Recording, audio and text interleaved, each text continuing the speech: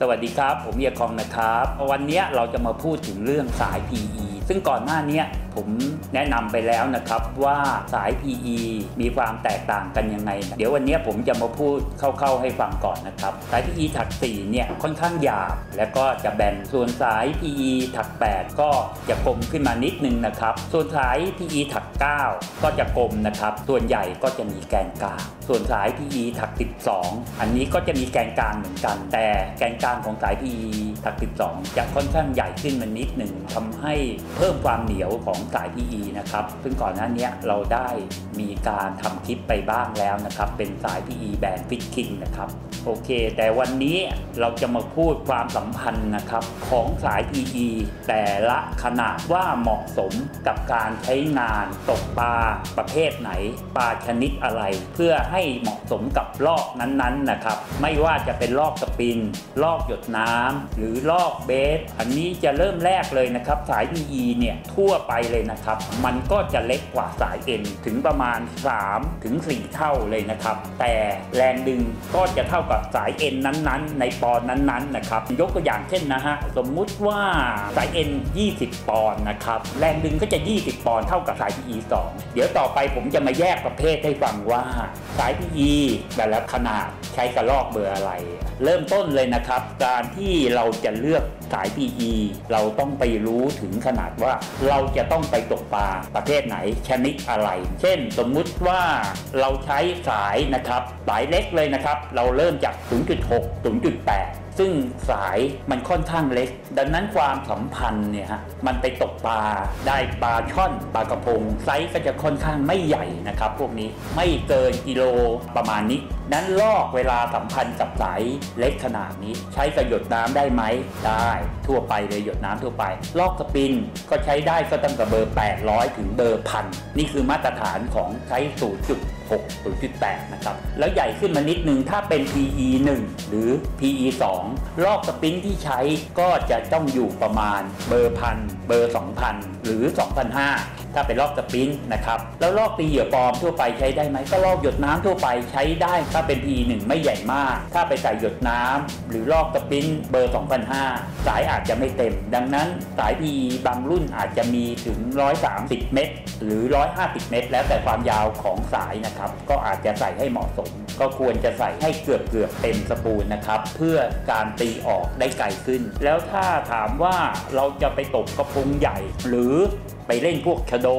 ลอกก็อาจจะต้องเป็นเบอร์ใหญ่ขึ้นมานิดนึง เป็นเบอร์ 2,500 ถึง 3,000 เพราะสาย PE ที่จะต้องใช้ก็อาจจะเป็น PE 3 หรือ PE 4 เพราะสายมันค่อนข้างใหญ่ลอกก็จะค่อนข้างโตนิดนึง อันนี้คือความเหมาะสมของสาย PE ที่ใช้กับลอกทั่วๆไปนะครับ แต่ความยาวที่จะไปใส่ในลอกอาจจะไม่เต็ม100เมตร อาจจะอยู่ที่ 80 เมตร 90 เมตรแล้วแต่นะครับ อันนี้คือความสัมพันธ์ของสาย PE ที่เหมาะกับการตกปลาชนิดต่างๆ ใช้กับลอกเบอร์อะไร ผมไม่ได้อธิบายแล้วนะครับ ที่มีลูกค้าถามกันเข้ามาเยอะแล้วนักตกปลามือใหม่นะครับที่ถามมาว่า แล้วผมจะไปตกปลาทะเล ผมจะใช้ลอกจิกใช้คันจิกเนี่ยจะใช้เหยื่อประเภทไหน ใช้ผาย PE เบอร์อะไร เราไปพูดกันก่อนเลยนะครับ เกี่ยวกับคันจิกมันก็จะมีคันจิกนะฮะเวทประมาณ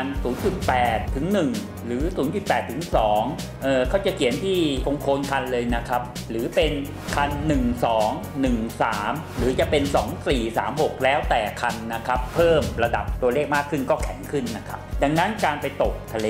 การใช้คันขึ้นกับความลึกของระดับน้ำว่าคุณไปตกน้ำระดับ 10 เมตร 20 เมตร 20 เมตร 30 เมตร หรือ 40 เมตร 50 เมตร หรือเกินจาก 50 เมตรขึ้นไป เหยื่อแต่ละชนิด แต่ละความลึกแต่ละความแข็งอ่อนเวทของคันขึ้นอยู่กับเหยื่อที่ใช้ด้วยนะครับ ถ้าคันอ่อนๆเล็ก ๆ เหยื่อก็ไม่เกิน 10 กรัมครับ 5 กรัม 7 กรัม 10 กรัมใช้ได้ ถ้าเวทคันแข็งขึ้นมาน้ำลึก 20ถึง40 เมตร หรือ 50 เมตร เหยื่อก็อาจจะมาใช้ 20 กรัม 40 กรัม หรือ 50 กรัมได้ ถ้าน้ำลึกกว่านั้นก็อาจจะเป็นตั้ง 50 กรัมถึงร้อยกว่ากรัมนะครับ แล้วแต่เลือกใช้สาย PE ที่นักตกปลาจะใช้ ถ้าเหยื่อน้ำหนักเบาคันก็ต้องเวทต่ำ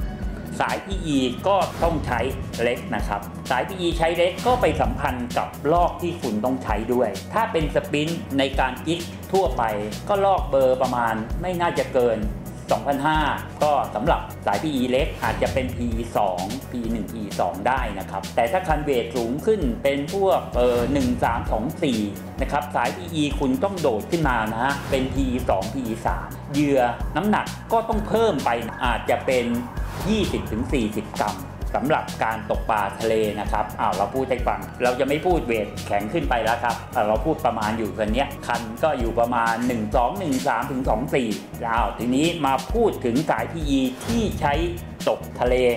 หน้าดินหรือตกข้างเรือใช้กับลอกเบสทั่วไปตั้งแต่6,500 ขึ้นไป หรือเป็นลอกเบสที่ระดับเบอร์ 2,000 3,000 4,000 5,000 เนี่ยฮะ สาย PE ที่ใช้ก็ขึ้นอยู่กับ ความลึกของน้ำและก็ขึ้นอยู่กับเหยื่อที่เราใช้ตกหน้าดินด้วยนะครับ แล้วก็ไปสัมพันธ์กับคันเวทของคันที่เราใช้ตกหน้าดิน ดังนั้นสาย PE ที่ใช้ตกข้างเรือ หรือตกหน้าดินข้างเรือนะครับ สาย PE ก็ต้องอยู่ประมาณ PE 4 ขึ้นนะครับ PE 4 PE 5 PE 6 PE 8ถึง PE 10แล้วแต่ว่าเราไปตกน้ำลึกแค่ไหน ปลา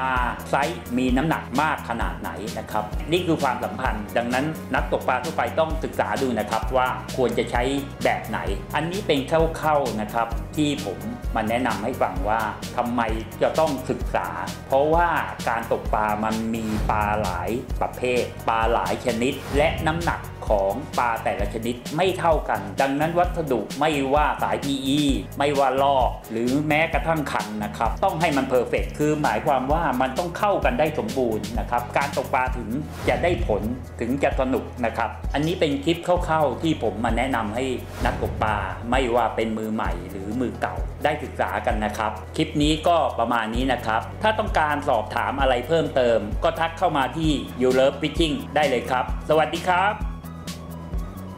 ฝากนั้นนะด้วยนะคะ อย่าลืมกดติดตามและกดกระดิ่ง เพื่อไม่ให้พลาดในการรับชมวิดีโอใหม่ ๆ ของเราด้วยนะคะ